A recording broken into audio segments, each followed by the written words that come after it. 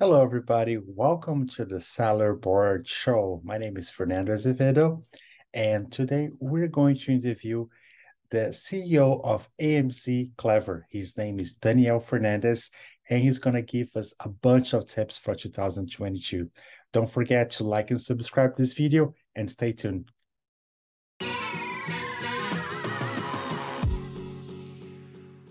Hello, everybody. Fernando here from Sellerboards Today, I have Mr. Daniel Fernandez, the CEO of AMZ Clever, and he's going to bring us some really nice stuff that's going on on Amazon 2022. Daniel, thank you so much for having us. Hey, Fernando. It's a pleasure to be here. Not so far from from where you are, actually, here in Florida. I had no idea you were here in Florida, Shu. Thank you so much. And uh, it's a pleasure to have you. I've, I've been looking forward to talk to you and see what what what you have in that big brain of yours. So tell me, Daniel, what are the good things, the new things that we're expecting to see in 2022? I know we talked a little bit before about brand followers, about Amazon giving volume keywords. What can you tell me about that? Yeah, so uh, a few things, right? I think that, that when it comes to uh, building a brand on Amazon, uh, the, the tools and the what Amazon has enabled in the last few months uh, is better than ever. Uh, is is a very good time to build brand recognition on Amazon. Many things that we were not able to do before are now here. Uh, so we can uh, go a little bit deeper about that. And also, the other thing I wanted to share is uh, for the first time, Amazon is opening up the the black box with multiple locks. And you know it was impossible to see what's in it uh, before. Amazon finally starting to share uh, search volumes uh, for keywords right? Keywords that are um, uh, that are uh, people are searching on amazon we're able to see how many times these are being searched something that in the past we were relying on all their outside tools, and I won't I won't say any names so that we don't um, you know we don't know anyone. But you know, before it was basically just educated guesses. Uh, but finally, now Amazon themselves are providing this information. And you also can see the click-through rate share, the conversion share, right, on brand analytics. Uh, at least three. Yeah, it's I mean, it's more than that, right? You can even see you can see conversions. You can see uh, for your own products. You can see add to carts. How many percent? Uh, what percentage of of add to carts you're getting? So those are a little bit of some areas that that um, would like to share share with your audience. Hopefully, uh, there will be some stuff that is uh, applicable, things that people can do, kind of thing implement today for their you know for their Amazon account. Yeah, and, that, and so, that's I think that's one of the cool things about agencies that they're so ahead of the curve. A lot of the sellers they're making money, they're profitable, and they don't know about those tools. So when you go to an agency, the agency goes, "Yeah, I I know they they exist. I know they're new, and I know how to use them to grow your business." Yeah, yeah, it's and also one thing that's been very interesting about running an agency is uh, if a brand uh, just selling products on Amazon and maybe has been doing it for a few months or years, right? Their their um, database is based on only their products, right? Whereas um, as an agency, we have let's say 30 plus clients, and each of those clients has a few products, right? So our our uh, the amount of data that we have is many times fold what a brand can do on their own or a seller can see or do on their own so that's why when they see when somebody uh, let's say a, a, brand is facing some kind of problem on amazon it's almost guaranteed we have seen that problem and almost guaranteed we have already solved that, that situation just because of our the amount of data that we've been exposed to and right. the amount of product launches and new products and dealing with seller support and all of that so it puts us in a in a good position to to uh, you know, in terms of knowledge and wisdom for what works on Amazon. Mm-hmm. And you, you just moved to Florida, right? Yes, yes. I um so I lived uh you know I lived in in China first for uh, about three years. Uh, I think that was around 2017 and onward, and I was able to learn a lot from uh, Chinese sellers. Uh, some people may call it the the a lot of black hat tactics and and things like that. Uh, not all of it, but you know there were some of that. I was able to learn and, and be exposed to that. I, I met mm-hmm. companies that I met agencies that their full time service is black hat. Oh they they sell you black hat. That's all they do. You ask for something else, they don't they don't offer it. Uh, and just that those conversations and seeing what they were doing was um, was very very helpful uh, to protect our clients from tactics and uh, bulletproof a little bit more uh, accounts, right? Knowing what what the the um, let's say the bad players do, mm-hmm. but also made a lot of uh, a lot of brand owners, a lot of sellers that were going to Amazon for sourcing or for events that were mm-hmm. happening there. I, I was also uh, fortunate to speak at some of these events, you know, Global Sourcing Summit and, and events from uh, uh, Global Formation and so on. And, and that was a, um, a big, big, I think, uh, uh, phase in my journey. Then a uh, uh, pandemic started. I moved to Bali, lived uh, there for a couple of years, and now I'm back here in the U.S. I'm, uh, as you know, in Florida. So it, it's good to see um, the events that I'm going here now, and how the information from what I was seeing in Asia and what I'm seeing here uh, varies a little bit, right? So it's, it's uh, I've been fortunate to be able to see both uh, sides of the equation.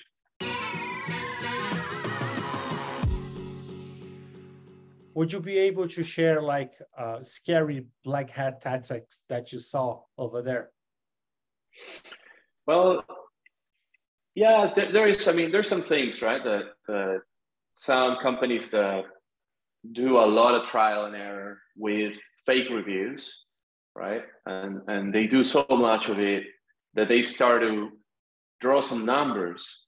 They know how many um, what percentage of if you're getting 100 orders let's say uh, 100 orders a week they know exactly how many reviews you can get per week uh, before you trigger uh, a flag oh, no. right so they they operate at those at those uh, with those levels. thresholds in mind and it's all trial error but once they they do it they know how fast they can get the reviews uh, they know how many they can get, they can get, what discounts they, they can do for the, the product that the reviewer is getting, right? So those are a few few things that were very interesting.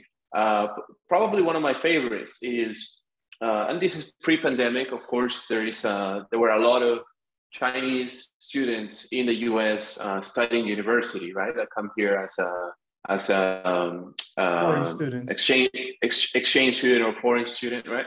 Uh, so all of these students, they use uh, for messaging, they use WeChat, right? Which is like the Facebook of China.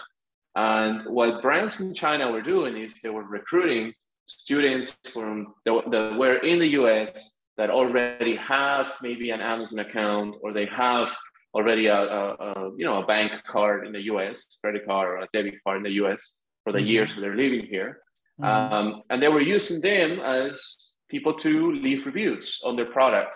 Uh, and this was very, uh, it, it, flies under the radar for Amazon because these students, they are already buying stuff on Amazon because they live here, right? Mm-hmm. And they, they are also reviewing products. Too. And they were getting paid, they were getting reimbursed uh, the money on WeChat in, in Chinese uh, currency, in, in RMB, which is uh, impossible to track or trace for Amazon, right? So that had been happening for, for many years, uh, which explains a lot of things. Wow, well, sorry to derail a little bit. Uh, I wanted to ask about the brand followers. Awesome. So let's um, let me start with a little bit of background, right? And that is that is Amazon. Uh, Amazon has recently starting to started to realize that they you know shopify is a company that obviously has grown tremendously right? And and amazon i think is now seeing them more as as their direct competitor right? Like they want um they want to it's not now amazon versus you know ebay or walmart uh, those you know walmart is growing but let's say with ebay that battle was won a long time ago right it's just more in in into brand building right people that buy on shopify sites are people that are actually re- um, resonating with the brand and the messaging and all of that and a, a big aspect of uh, shopify selling on shopify is social media. Mm-hmm. Like a lot of that traffic that people buying from Shopify comes from social media. Mm-hmm. And then the number one KPI of social media is, is engagement. And engagement comes from your uh, followers, right? Or the people that like you or the people that follow you, right? Instagram is a, the perfect example, right? The more followers you have, um, you can promote uh, anything really to more people. So mm-hmm. I think Amazon has is picking that up from the base, which is this this follower count, right? And they have brought that over to Amazon. So for the first time, uh, you can now uh, people that not necessarily buy from you, but they they like you, they like your brand on Amazon. They can now follow you on Amazon, right? And and there is a follow button now in a few areas. Mm-hmm. One of them is going to be your storefront, mm-hmm. right? That's why uh, at this point, I mean, it's been a few years since the storefronts came out. If you don't have a storefront by now, you've got to get one. And if you're new to the game, you got to get one quickly because uh, that's how you start basically getting uh, followers, right? Um, and why why would you want followers on Amazon? Uh, there's a few new tools that Amazon has released, right? And and I'll start with probably the one I'm most excited about, and that is the ability for the first time to broadcast uh, a message, an email to all your followers on Amazon, mm-hmm. right? And and you know, I speak with a lot of brand owners, a lot of companies, and they're always worried about uh, not getting that customer data, right?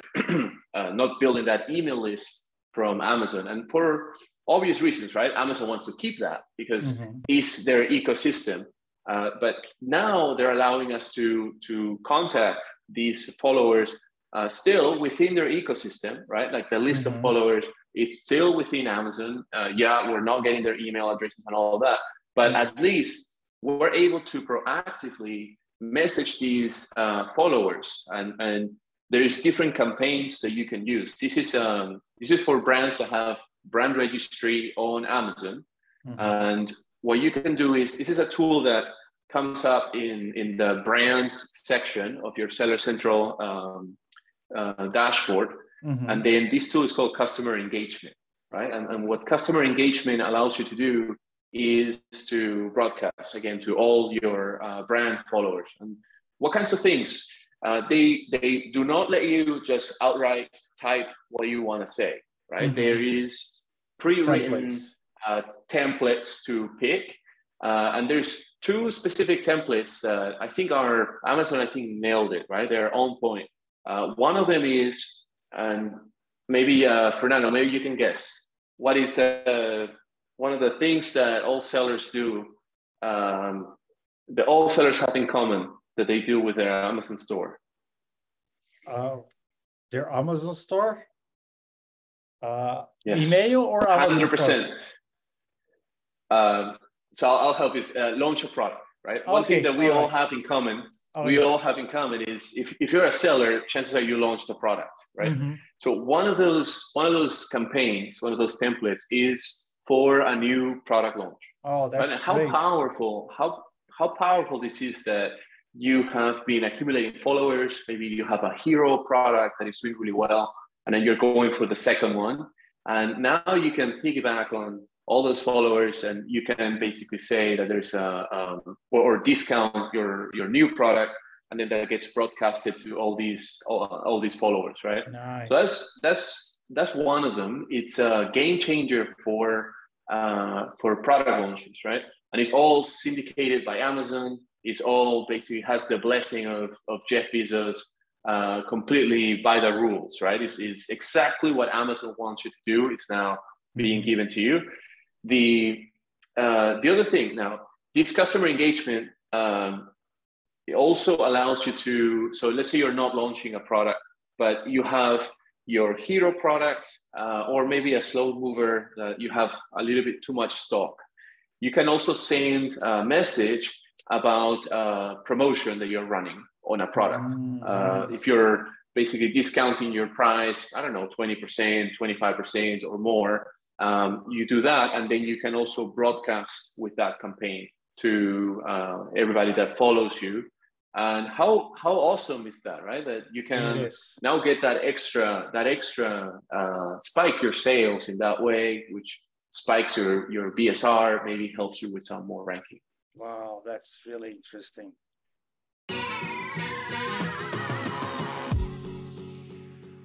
So uh daniel do you have any tips uh for 2022 uh and how people can contact you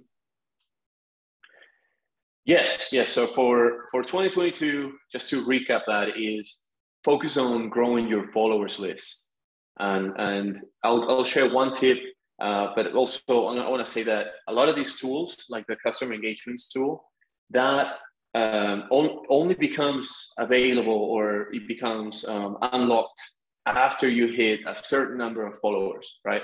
So when you have 100 followers, for example, I don't think it will be available just okay. yet. I think you have to hit about a thousand, right? And that takes a little bit of time. Uh, so that's why you want to start early. You want to start doing it. Um, now, how do you get followers? I'll share one tip, and that is when looking at your your storefront, right? Your storefront, you can create a, um, a banner image that goes at the top of your storefront. Correct. Um, make make that banner image so that you have an arrow pointing down to the side to the follow that says that says follow us for blah blah blah right uh, discounts new products promotions etc etc product launches now yes cool. yes Love and it. make that arrow basically point very well because the follow button even though it's there it's a little bit small so you want to yeah. highlight it some more yes good good tip loved it loved it yeah. Yes. And also uh, going back to the to the keyword volume, the data that Amazon is now showing us, right? Like we spoke in the beginning, that information is also very helpful for 2022, right? Yes. Yes. So I'll share a little bit about that, and then I'll. I'll uh, this is something that we we do for our clients at my agency. So basically, all that I'm talking about, we take care of.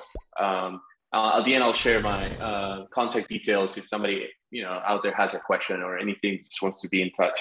Awesome. Uh, but yeah. this one about the uh, search volumes, right? And this is also something that you need. Um, you need to be brand registered, and it's also not available for all sellers. Uh, however, there's a way to ask Amazon to unlock uh, this for you early, oh, right? And this is a this is a two uh, two tools that Amazon has released. The first one is called the Product Opportunity Explorer, mm-hmm. and that is um, that's something that becomes available in Seller Central in the growth section of the dashboard. There should be a drop-down menu, and then the last option uh, would say Product Opportunity Explorer. If you have these, if Amazon has unlocked this for you, if you don't see it, don't worry. Um, e- uh, email email uh, this email address that I'm going to share, uh, asking Amazon to give you access as a beta user, right? And you gotta tell them a little bit, hey, I want to be a beta user for this, and I'll provide you feedback on how to improve it, right? Like basically be a little bit uh, uh, add a little bit of value, right? We're giving them a good reason. But the, the email address is uh, opportunity dash explorer dash request at amazon.com. Awesome. Right? Email that from your from your main email on your Seller Central account. And then once again ask them, but not just say, hey, I want I want to use a tool, give them a, a good reason for that. Mm-hmm. Um, anyway, So once you have this tool, what you are able to do is, uh, first of all, look up uh, for, I think it's six marketplaces. It's uh, US, Germany, UK, France, Italy, and Spain at the moment. And what you're able to do is you have a, you have a, a, a search box where you can put in a keyword. Amazon calls it a, an opportunity, right? But uh, in, in reality, what you're doing is you're typing a keyword for, for a niche. And mm-hmm. let's say let's say you type in omega three, right? What Amazon then is going to do is it's going to break that, and you want to start with a, a, good seed keyword, right? Mm-hmm. You don't want to go long tail. You want to go with a seed keyword, something mm-hmm. like omega three or garlic press or uh, shirts for men, something very very general that probably has a lot of search volume, right? Because the next step is Amazon is then going to sit a lot of uh, um, sub niches. They call them they call them uh, customer needs, but in reality, they're niches inside that seed keyword that you typed in. And and notice that I'm not saying they're giving you keywords. They're giving you sub niches, uh, which you know uh, there are keywords on their own. But each of these sub niches is going to have a group of search terms that Amazon is is uh, assigning. For example, right? If I type in omega 3, uh, one customer need that Amazon will give you is, uh, for example, vegan omega 3, right? Which, which is a keyword, right? But Amazon is calling it a customer need or, or, a, or a sub niche. Uh, and the reason for that is because inside that customer need, you can expand it and you'll be able to see the search terms that Amazon has uh, basically assigned to it. You'll see uh, vegan omega 3, You'll see omega-3 vegan. You'll see, you know, vegan omega-3 supplement. You'll probably see algae oil, right? Mm-hmm. So not even with the words, algae oil. You'll probably see vegan DHA, which is a, a, a I think a, a, scientific name of, of some of the, the ingredients that, are inside omega-3, right? Mm-hmm. You may see al- algae oil and, and so on, right? And then mm-hmm you'll be able to see for each of these search terms, you're going to be able to see the search volume that they get every year, right? For example, for vegan omega 3, you might see, um, I don't know, 80,000 searches per year, right? So then if we do a quick, uh, quick math, uh, what is uh, 80,000 divided by 12, Fernando? 80,000 I got it for you. by 12, uh, 6,600. 66. Yes. Yes. So that's just that. That would be the average search volume per month, right? Nice. And you can compare that with with other tools that, that you know they, they give you this data, uh, but really this data this time is coming from Amazon. Another thing is you can see if that search volume for this year compared to the previous year, Amazon will tell you if the search volume activity has grown or has uh, gone gone down, right? That way you know if you are in a niche that is doing this or a niche that's doing this, like uh, like crypto, right? So um, another just just a, a joke aside, um, another thing you can see is um, inside this whole customer need again that has many uh, search terms inside you can see which of these uh, search terms has most of the clicks. Uh, Amazon calls it a click share, right? And for example, in this case, vegan omega 3, let's say, has 40%, meaning all these search terms that Amazon identified um, belong to that customer need of, of omega 3, right? Uh, we'll be able to see um, we'll, we'll be able to see the which one is the one that that gets basically had the most clicks. Mm-hmm. Exactly, exactly. And then lastly, you'll be able to see also the uh, conversion rate, right? Like for example, let's say we have vegan omega three, omega three vegan, vegan omega three supplement, right? And then uh, let's say algae oil, right? We'll be able to see if the first two or the first one maybe has 20% conversion rate. The next one maybe has you know 15% conversion rate uh, and then 18% conversion rate. And then maybe the last one, algae, doesn't say omega, algae oil has 5% conversion rate, right? So that way you, you know what keywords to really focus on uh, that matter to your listing, to your product. Very cool. Loved it. I, I knew I was going to be excited to have you because I knew I was going to leave this meeting with a lot of my minds. Very cool. Loved it. Awesome. Awesome. But yeah, and there is, there is, I mean, we haven't even scraped the, the surface of what these product opportunity explorer, what this tool uh, actually shows you. There's a lot more. You can see they give you, believe, believe, uh, believe it or not, Fernando, Amazon is giving you how many products were launched in the niche in the last 12 months. Wow. And they're telling you how many of those products uh, they, Amazon, they deem successful launches, right? They're giving you that number, right? So you can see, let me ask you a question. If you see that I have to check 10 this. products, if you see 10 products were launched in a niche, and then Amazon is telling you that nine of those launches were successful, successful. right? Would you would you try would you try that niche or not? Yeah, yeah, absolutely.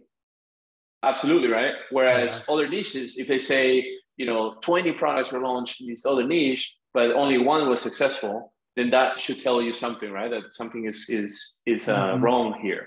Yeah. Um, there is a barrier. Yeah. So that's a yeah. I, I would say you know we with our clients we use this information to to make good decisions, right? And is is yeah, we're we're focused on we're focused on operations, on management, and strategy. And this is for the strategy part is huge, and then that determines what we're gonna basically do during the, the on the market management side. All right, very cool. Loved it. So Daniel, I think we went a little bit over time. I would love to have you again. So we're gonna keep talking because I want I want to see the other topics that you have to say. Uh, I need to know how people can contact you. Awesome, awesome. So um, if you have any any questions, if you potentially want to uh, want us to to grow your brand, uh, manage and grow your brand for you, uh, just shoot me an email. It's very easy. Daniel at amzclever.com. Uh, okay. That is amz z like zebra clever.com. And then uh, even if you have a question and it's something that I can help you on the spot, uh, shoot me an email. I'm happy to happy to connect and help with whatever I can. Okay. Thank you so much, Daniel. So everybody, uh, this was Daniel, the CEO of AMZ Clever. I hope you liked this interview. I'm to try to bring him more to the channel because I know he has more things, more cool things to say. And I am Fernando from Sellerboard. Thank you for having me. And I'll see you guys on the next video. Bye-bye.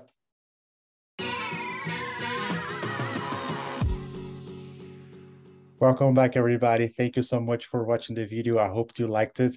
Don't forget to like and subscribe. Leave your comment below. If you have any questions, just go to sellerboard.com. And I hope to see you again soon. Bye bye.